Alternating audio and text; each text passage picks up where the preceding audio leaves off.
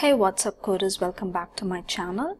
Uh, in my previous video series I used the simple folding cell widget to create this cool looking calendar app where it has a list of schedules and uh, when I click on any of the schedule the cell flips and you can see the details. So in my use case I have just the details of the meeting and the people who are attending the meeting with a set reminder button. So uh, so my last video was to create the bone structure of the cell simple cell folding um, widget. And today we're gonna add the content into it. As I mentioned um, this simple folding cell is being divided into three factors. One is the front widget which is the one that's visible here. And there's inner top and inner bottom. So when you click you have two sections. This is the inner top and inner bottom the content of these would be discussed in my next video.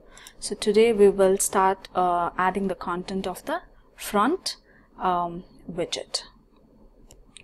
Well the function related to the front widget is this one. So in this case uh, we have two expanded widgets. So the first one is this one with the flex value 1 that what you see here and the second one is with the flex value 2 so first we will add the content inside the first container. So what I'm going to do is I'm going to create a row and a column and inside the column I'm going to create two containers. So, so this is the section that I'm going to add the content. So all I do is add another container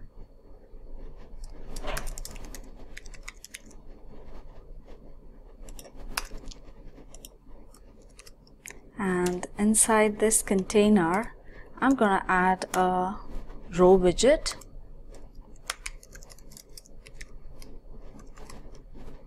And inside this I'm gonna add a children widget. Um, also okay after this I'm gonna add a column so that your text appears one below the other and inside this again I'm gonna add that array. Okay now inside this array I'm gonna add two containers. So the first container text mentions today and the next one is about the timing. So I'm gonna say container. So this is one container and I'm going to duplicate it so that I'm this would be my second container so inside my first container what I'm going to do is I'm going to add a text which says today and add some styling to it. So quickly I'm going to add of the styling properties which is nothing but the color and the font size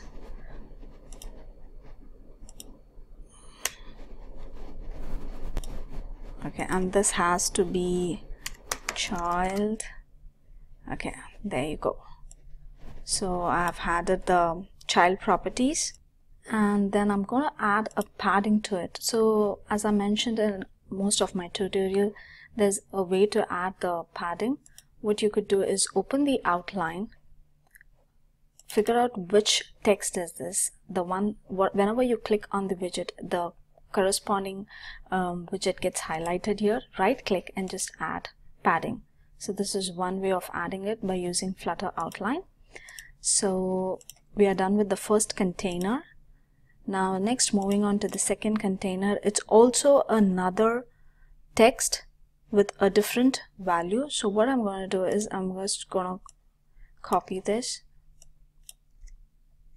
And I'm just going to change the text to 0 a.m. There you go. So this is how you add two containers. So I'm going to do a quick hot restart and show you how it looks. Well, the application has built and now you can see the text appears one below the other, but I wanted it in center. Now how I could do this is, uh, if you see there is this row and column, there you have a property called main axis alignment. So what I'm going to do is I'm going to use the main axis alignment and I'm gonna make it center.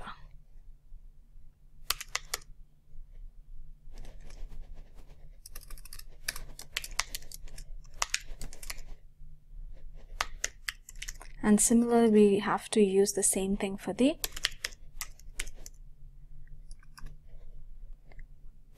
the row as well. So I'm gonna copy this and use it inside my row. Now if I do a hot reset you would see a difference. It would get centered in the block.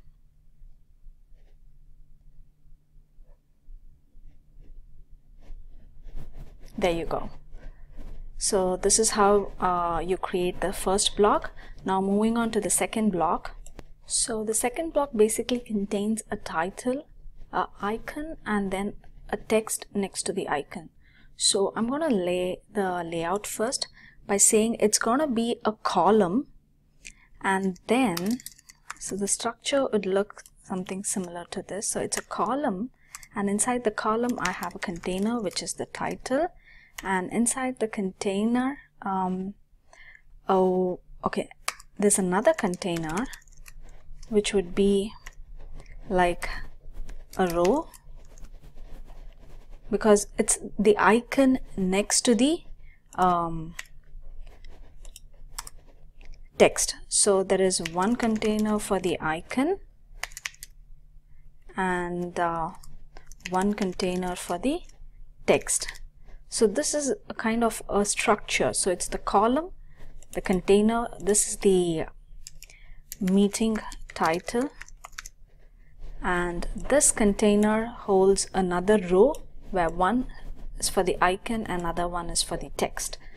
So inside this it's just the similar way of text and um, this one is an icon and text. So basically whenever you design layouts get your um, structure created first and then you can just add text or icons or tables or images inside it. So if you get this correct you can design any layout. So since it's just purely text and icon I'm just gonna quickly add the text and show you how the output would be.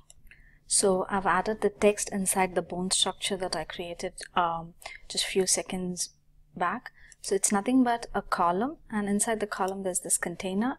So the first one has a text and the second container is nothing but a row with two containers, one for the icon and I use font awesome icon. Another container is the text which has the location. And uh, when you build it, so I'm to show you how it looks. Yeah, so this is how it looks. So you have the first container covered and the second container covered. And when I click on it, you would not see anything because I'm yet to add the content into it, which would be my next video. So hope you know how to add the front widget. And um, if you like the video, please give it a like and subscribe. And please do watch my next series for this uh, entire calendar page app. Thank you.